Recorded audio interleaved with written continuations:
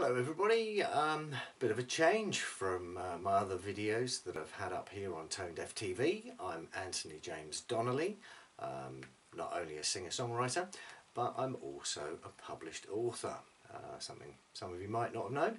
I'm uh, very excited because my proof of my latest children's book, Michael and the Magic Hiccup, came in the mail today.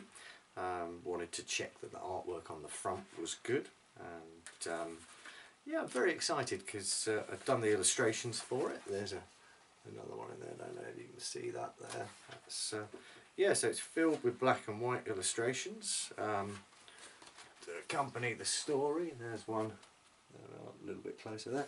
So it doubles up as a colouring book. Um, so uh, aimed at children of all ages um, and uh, from those that can read on their own or those that want a bedtime story. Nice cute little uh, little story about a garden gnome that goes on a great adventure.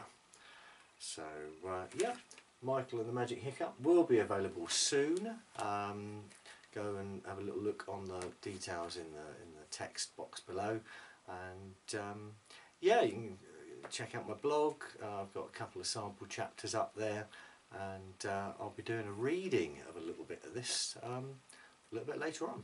All right, enjoy. Stay tuned. Bye.